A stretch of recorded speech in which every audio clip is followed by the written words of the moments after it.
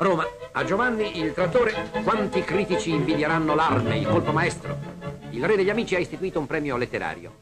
Con Falqui, Zavattini, Greci, Piccone Stella e Bellonci costituiscono la giuria. Savinio e Levi erano presenti alla prima edizione, 1949. Gli applausi e l'assegno di 250.000 lire furono diretti quella sera ad Alberto Savinio. Anna Magnani aveva due volte ragione di brindare.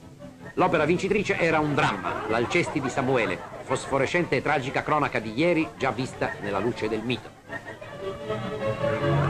Ed eccoci al 1950, seconda edizione del premio. Buon segno di vitalità, promessa di resistenza.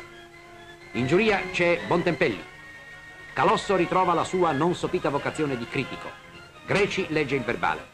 Il premio tocca a Mario Lacava, calabrese, 42 anni, autore del libro Caratteri, opera di un moralista che ha l'intelligenza e il buon gusto di non slittare nel moralismo.